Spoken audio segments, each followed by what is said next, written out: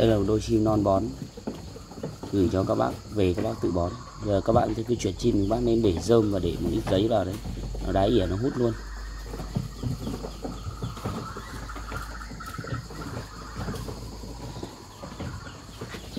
Nó để à, nó rộng rộng lên một chút. Nó thoáng nó không à, bị à, uh, lăn mồ hôi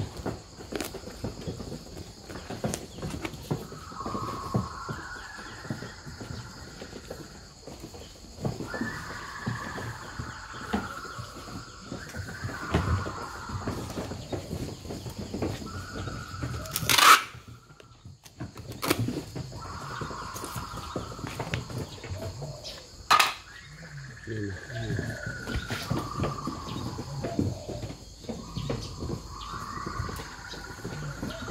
nhờ một người em qua Mỹ Đình đấy.